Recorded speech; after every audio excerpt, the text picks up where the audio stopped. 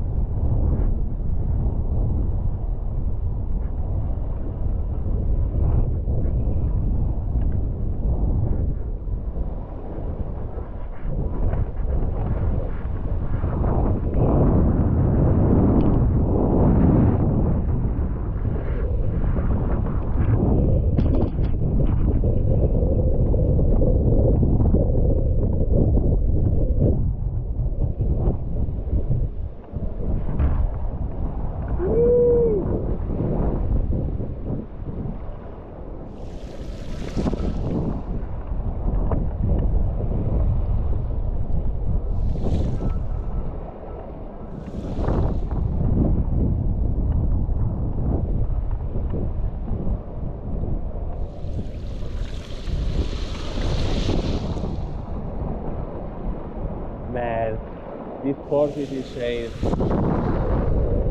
surfing endlessly